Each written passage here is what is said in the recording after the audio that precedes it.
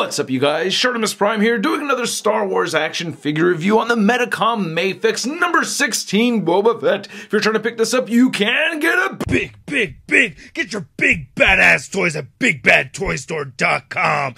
Click the link in the description below. Now, I've seen one review on this figure. I saw Boognish10 review this, and based off of that review, I didn't like the figure. But I had already ordered it, and it was already on its way from BBTS, so I was like, oh man, I don't know if I should open this. I already don't like it based off of that review, so I'm hoping my feelings change after opening it and seeing it firsthand. And we get Star Wars at the top right over there, and on the side you can see Boba Fett right over there, and Star Wars. Now on the very back you can see some product shots, some stuff written written in Japanese, uh, and then you get their contact info all at the bottom. It says Disney right there, licensing, yeah, and then you get Boba Fett right over there, and not much more at the bottom. All right, let's get to it and crack this thing open. And here's Mafex Boba Fett out of the packaging, looking pretty sweet. I'm liking this figure. I think it's a very good looking piece. I like the articulation on this guy. Very good articulation on this figure. And I do like the accessories even though he doesn't come with a whole lot. Uh, now in the past I've complained about this larger clip for the recent Mafex stands, but on this particular figure it actually doesn't bother me so much. I guess my biggest gripe with this piece is that there are some parts of it that have gotten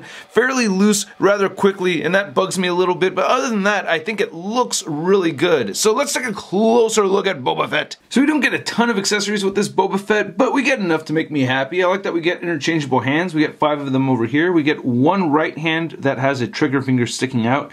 And all five of these are painted out very nicely. And you get some nice wrinkles in there. I think that looks really good. Very realistic looking. I really dig it a lot. Ooh, yeah, man. Looks really good. Very slight difference in the color of gray that we get over here. And then he has these two fisted hands. So he has two fisted hands and then he has two relaxed hands as well. And thankfully, Mafex has a port system here that's very easy to use. It's not difficult porting these on and off at all. And he has his little blaster over here, which I really like a lot. We get this nice black wash over the brown. Get some nice silver bits right over there. A little touch of brown right there. Looking really good.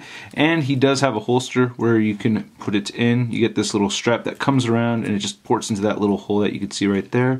So you want to move that out of the way and slide. It would help to have the light shining on it properly and then just port that right in there. So that looks really good. I'm digging that. Then lastly, he has his rifle looking awesome. I really like this a lot, especially with all this silver paint on it. It looks like gunmetal that we're getting right over there. I'm really digging it. And he does have some nice black wash over the brown and I'm liking this a lot. I did see in Boognish10's review, he did snap his. I think he broke it like around here or something. So when putting this into the gun holding hand, you want to be careful.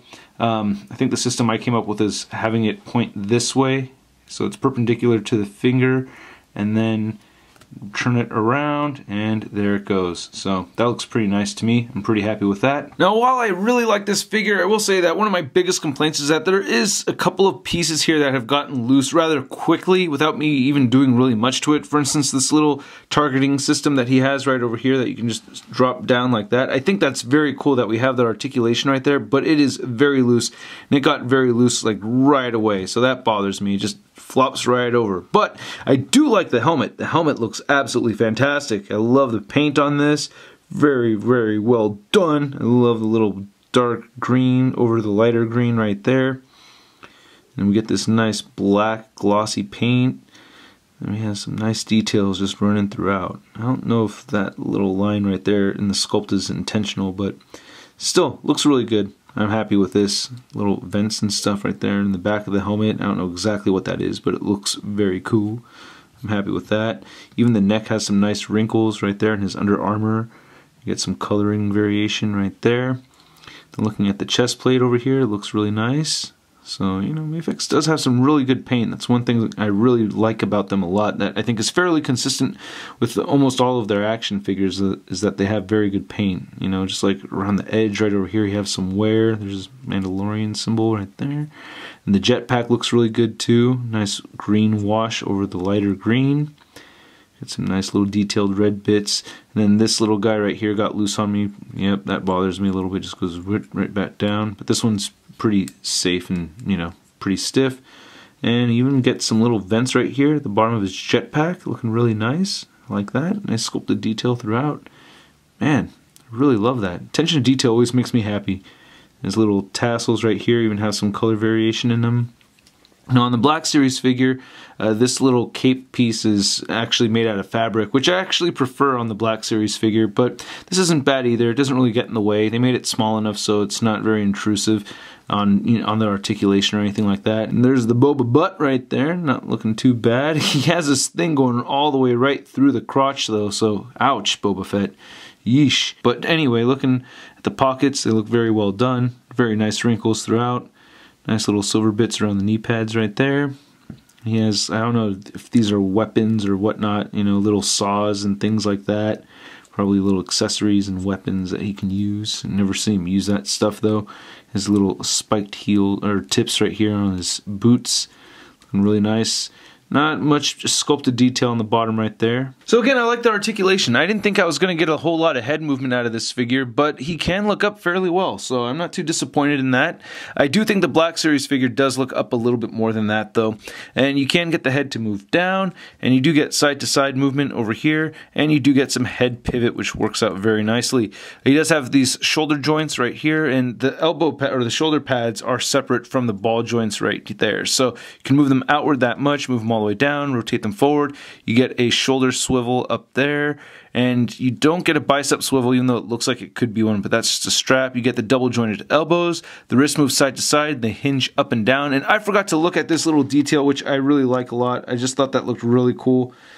I really appreciate that. I think that looks pretty awesome. And then looking at this other side too, it looks really good with all that little silver paint over it. And I wanted to mention that you have this little tube right here that comes out and you just put it right back into the little hole right there and it goes in there nicely so you don't have to worry about it breaking. It's supposed to do that. But anyway, going back to the articulation, uh, he does have a diaphragm joint that turns side to side and you can pivot a little bit, crunches forward only a little and moves back more so. And then he also has a waist joint that turns side to side and not much waist pivot. It's kind of hard to move that waist joint more than the side to side, especially because this belt moves around and everything. So it's kind of hard to tell where that moves and ends. But you can see that that's the waist joint right there, and that's the belt moving right here. So they are two separate joints. So with the diaphragm joint and the waist joint all together, they only move forward that much, which isn't a whole lot, uh, but they do both move back a little bit more so.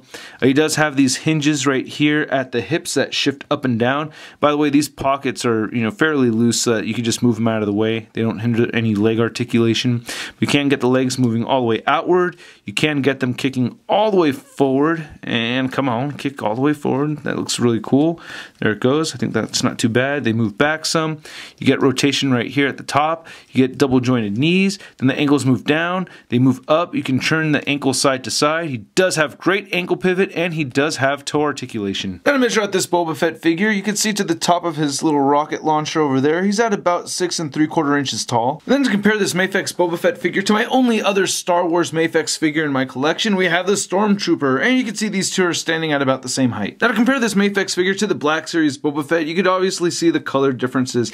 Now this is specifically an Empire Strikes Back Boba Fett, and I always thought this was an Empire Strikes Back Boba Fett as well, but there are differences over here. Uh, this one coming with the Han Solo and Carbonite, it really made me think it was from Empire, but maybe this one could be the Return of the Jedi version because, you know, there's both Carbonite, Han Solo, and Boba Fett in Return of the Jedi as well. Uh, but you could see some obvious differences over here.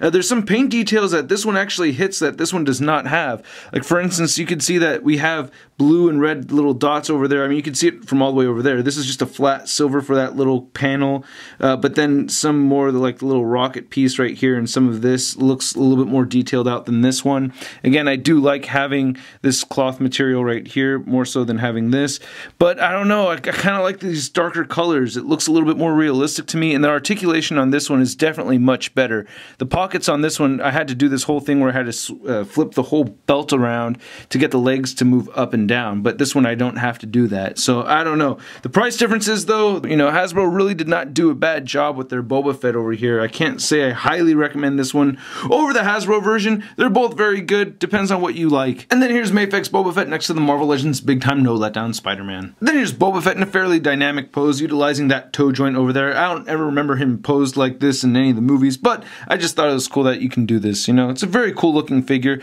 I do like it. I can't say I highly recommend it because I still really like the Hasbro version too. Anyway, I hope you guys liked this review. If you did, please hit the like button. Please stick around and hit the subscribe button if you have not subscribed already, hit that notification bell so that you know that my videos are being uploaded. It really helps a lot. It helps with the views and everything, which helps me and helps this channel. And if you want to see a photo gallery of images, it'll be over at JediInsider.com. And then you can buy my action figures over at ShartimusPrime.net slash store. And follow me on the social media, links all in the description below. I'll catch you guys later. Peace. Posing action figures, I'm posing action figures, I'm posing action figures every day.